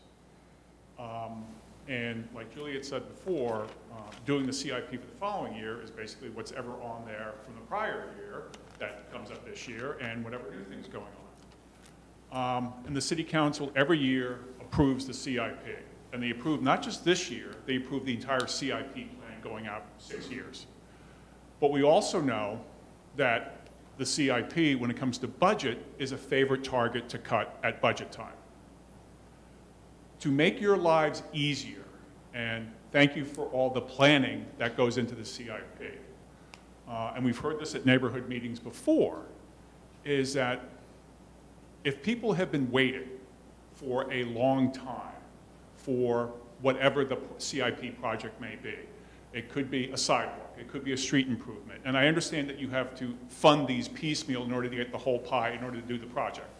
That being said, or a vehicle, that there should be a cost allocated to a cut by the city council for that CIP. What I'm saying is, would it make your lives easier if something came up for budget and they go after a CIP for whatever reason, be it a, a budget item that came right out, out of the revenue stream or a bonding, that if they cut it this year, it becomes a starred priority, uncuttable for the following year. So the people who are waiting for these things do not have to keep on waiting because of some agenda by a city councilor. That sounds like a policy decision that the city council would have to make. But at least you would know for the next year CIP, the things that you have to put in there and you, they're going to go through. I, I don't, I don't think a council can bind a future council to, to a budget item. So I, you know, I, I appreciate what you're trying to do, but I'm not so sure that would, I, I don't think that would work.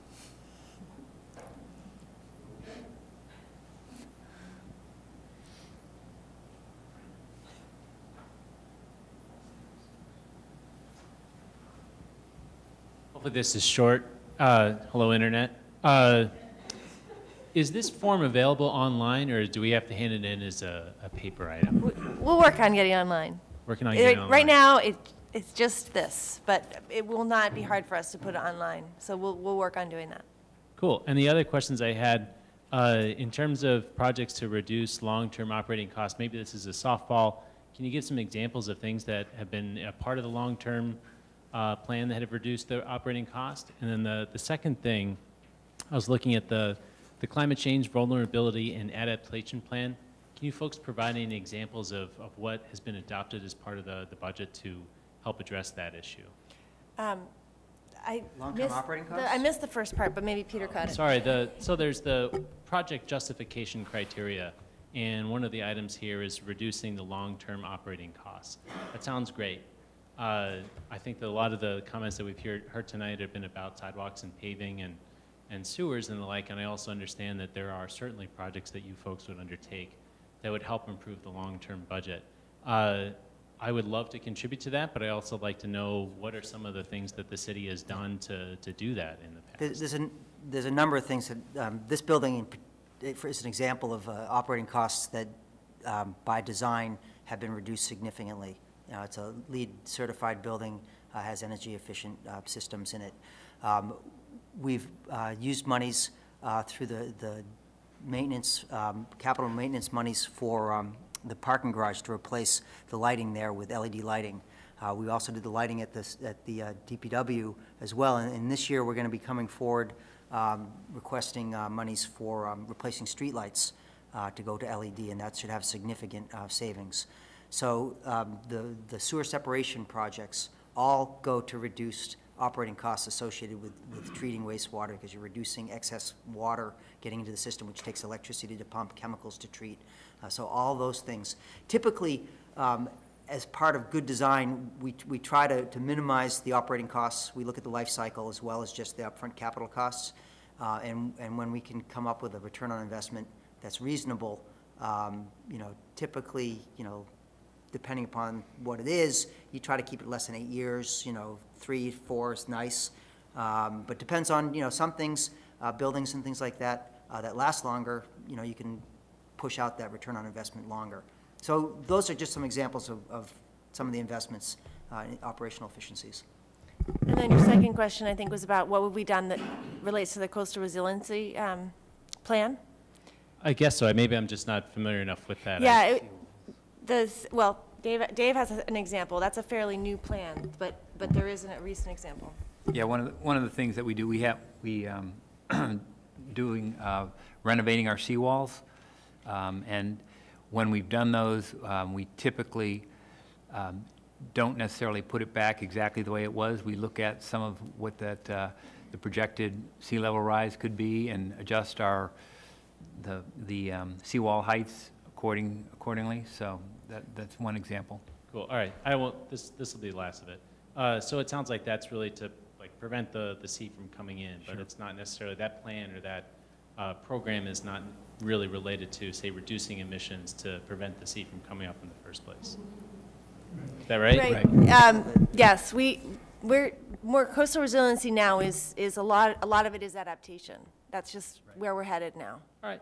But, but it's not to say we aren't also doing other things. I think you'll see, um, coming out of the master planning process too, the ongoing efforts to do LEED, you know, things that help overall, um, reduce energy demand, um, you know, those kind of things. I think those sustainability and all those, those objectives are still rolled into a lot of the projects that we have in the CIP.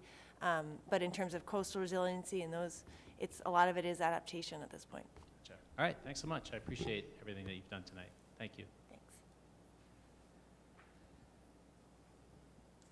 Uh, So I live in the Phase 3 section of McDonough Street, but I won't harass you any further about that. I think we've inflicted enough pain for one night.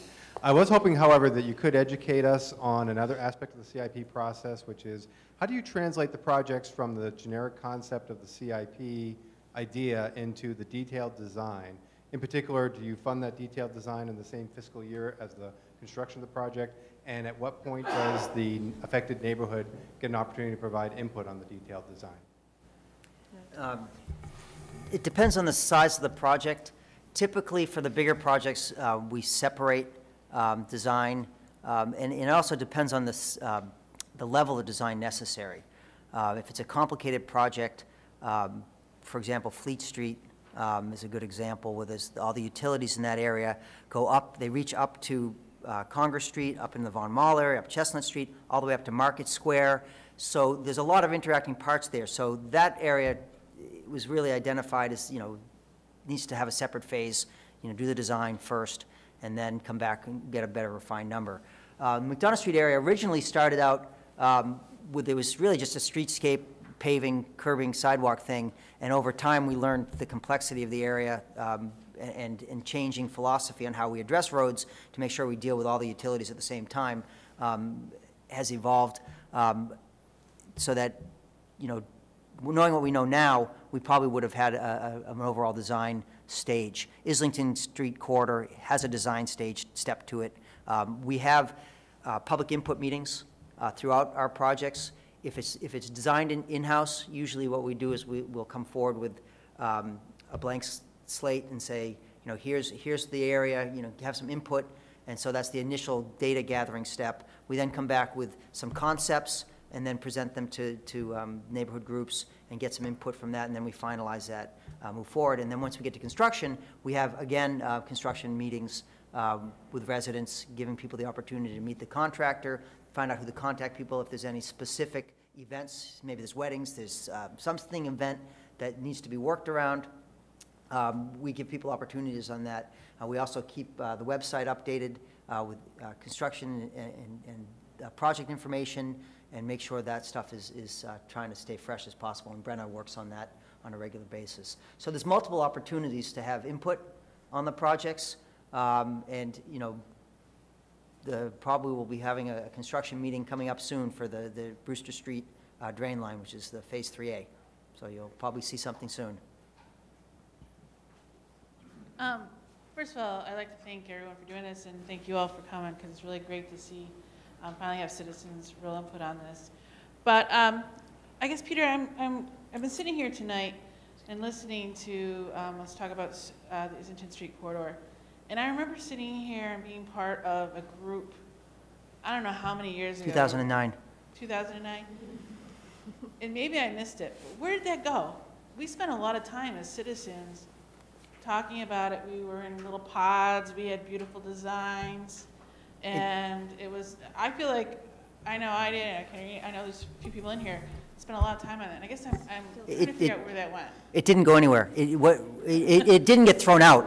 It, Well, that says a lot. no, no. So, no, so Counselor, it was used as the basis for the next step. So now we're going forward with the design, Which, so you had that charrette, which is great. It was, you know, looking at the above-ground streetscape. There's a corridor, there's a, there's a box beneath that that has to be dealt with as well.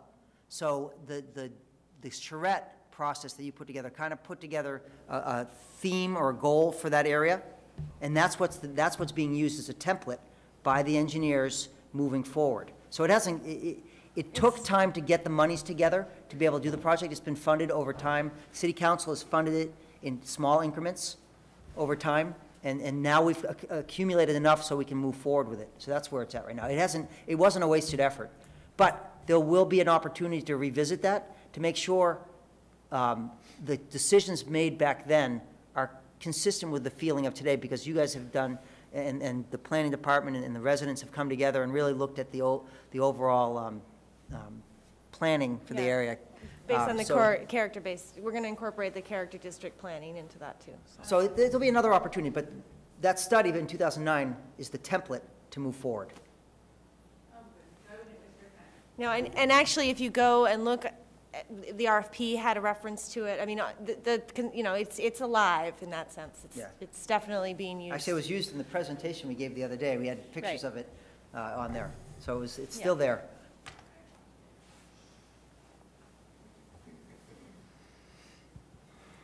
And, Mr. Rice, you said that um, sidewalks and curbs were part of the uh, combined sewer overflow project. And yet I live in Maple Haven, and uh, we have horrible asphalt sidewalks. And when they tore up our streets for this project, um, the representative of the city was asked about the sidewalks, and he said, sidewalks were not in the budget. So my question is, is Maple Haven part of Portsmouth, or is just the sidewalks thing just limited to Ward Two? Because that's where all these sidewalks seem to be, these new sidewalks. Walter, at the time, um, the project was a road and drainage project. Um, It wasn't a a sewer separation, complete street project. There's no curbing out in that area, as you know. Um, And that was, you know, the, at the time, there was no drive to, to upgrade those sidewalks. Um, I've, I've heard, actually, since that time, we've done a Are you complete coming inventory. back to do it, now that it is part of the project? There's an inventory that was been done of all the city sidewalks. It showed that area is failing sidewalks. They're, they're substandard in terms of the size. They're about two and a half feet, three feet wide. They're s- depressed, so the grass is above them, uh, above it, so it traps water. Um, It is, it is something that needs to be rebuilt. They are identified, and, you know, they will be put into the, um, to the capital improvements plan. Why are they part of the project? Because as you, as we talked about on Bartlett Street, the philosophy has changed over time. Changing expectations has brought to us a change in how we do things. You know, we can't say, we can't right all the, the wrongs of the past immediately. We need to, to slowly make changes, and that's what we're proposing to do.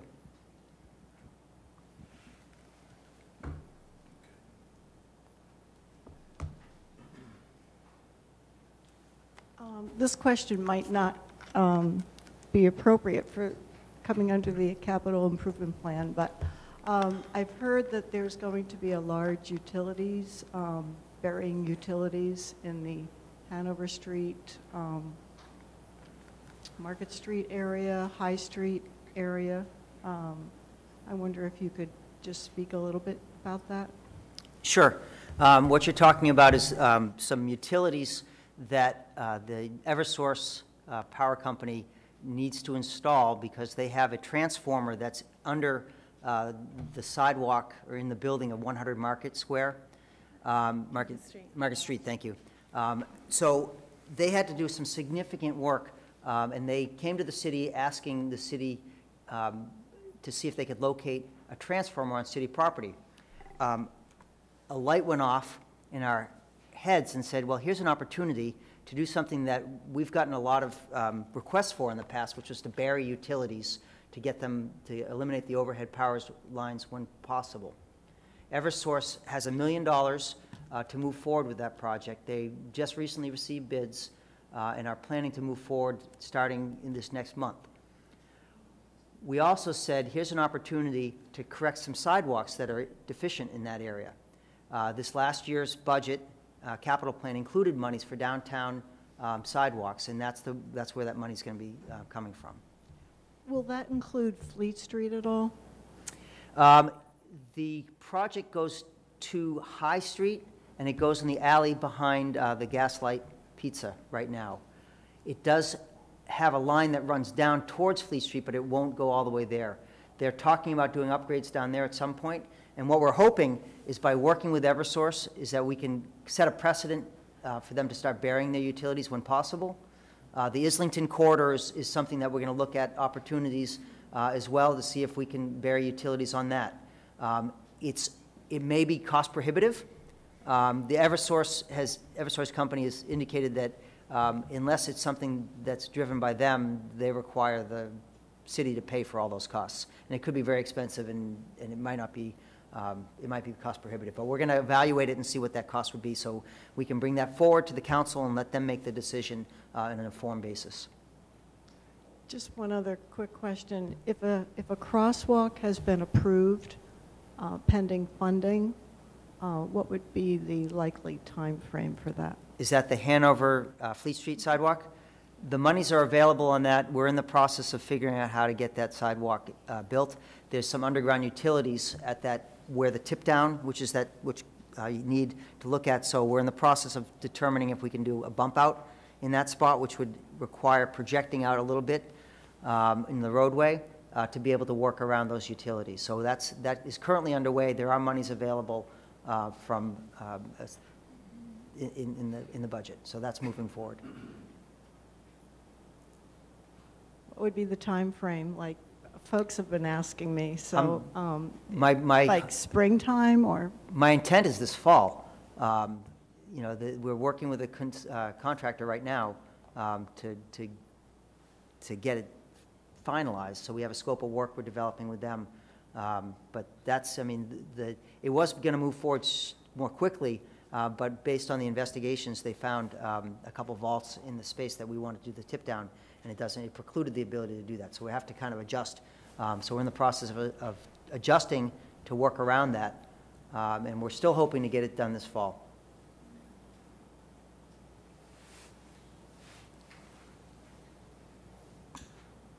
Uh, Question about uh, process for public input moving forward.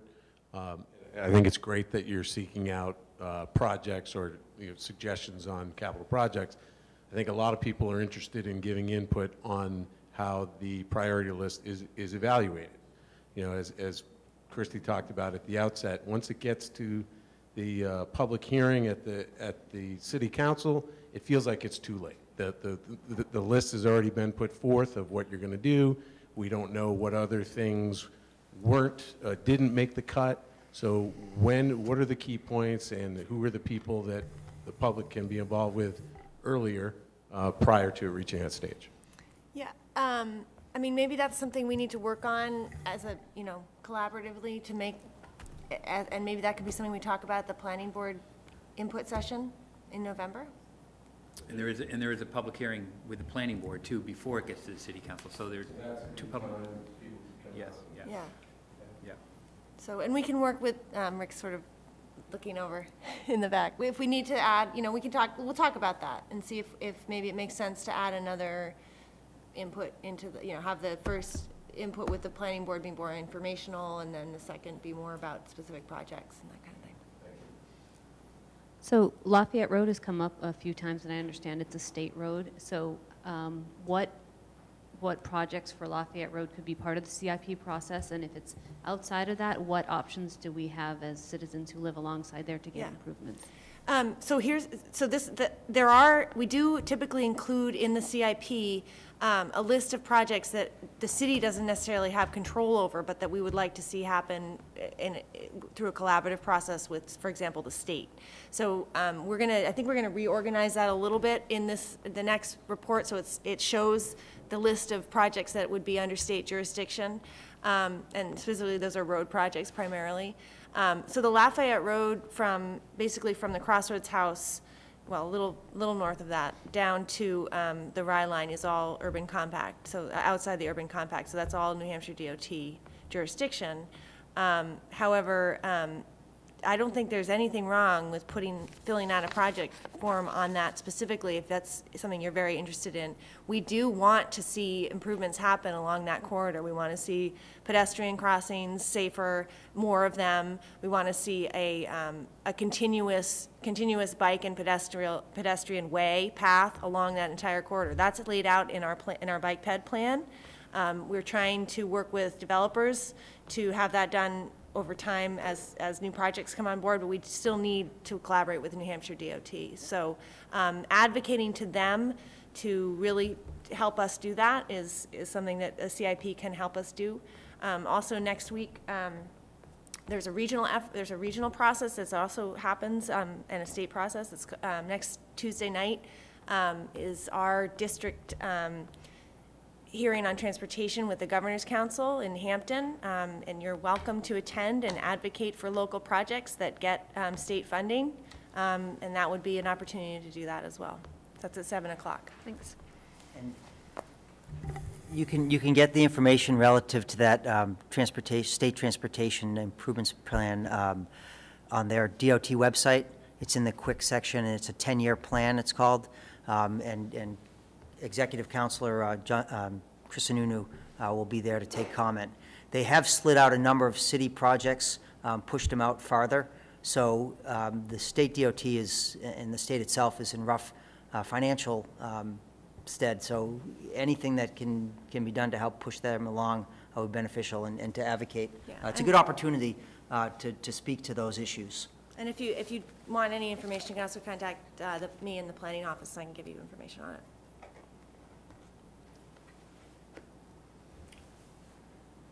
Okay, wow.